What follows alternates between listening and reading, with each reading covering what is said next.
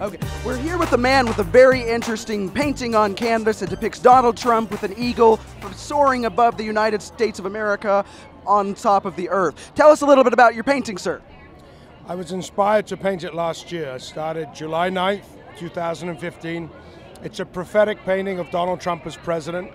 It obviously, the simple composition is the rescue of the torn, fallen flag over on the left.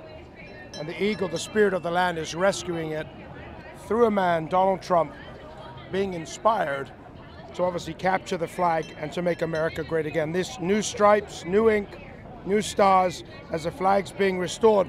But it's one big long continuum of time. And so we're in the continuum right there where the restoration has happened and time will continue to pass by.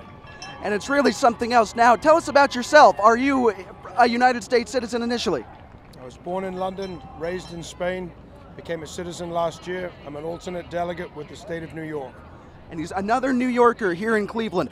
Tell us a little bit about what led you to Trump. You know, immigrants are supposed to dislike Trump.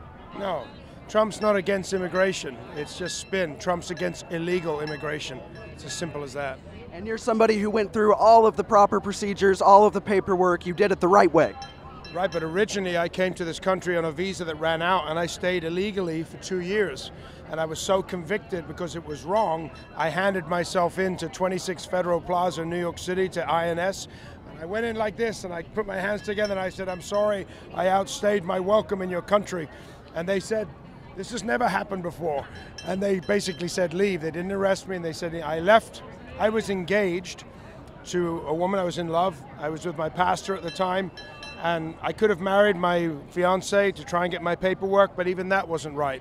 And I said, I'm going to go back to my country, get my paperwork in order, and I did that. And six months later, I came back with my paperwork in order, and I got married legally. 20 years later, I'm a citizen of the United States. It's my home.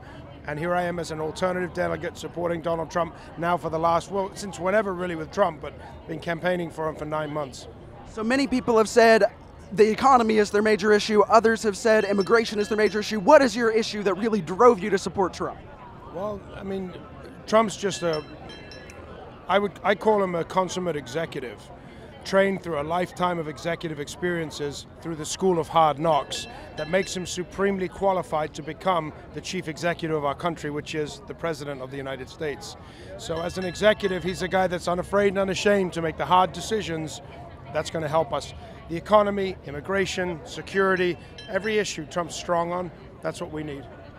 And you say you're a delegate, another delegate from New York. You're not the first we've spoken to. No, I'm an alternate from New York, and I'm uh, part of the delegation here. It's a great honor and a privilege to be a citizen, to be a delegate of New York, to be the up front and center crew.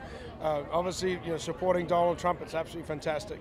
Now, tell us, what have you thought of the convention so far? We're currently on day three. You've been here three days now. It's life changing. I've never been to anything like this in my life. That's just life changing.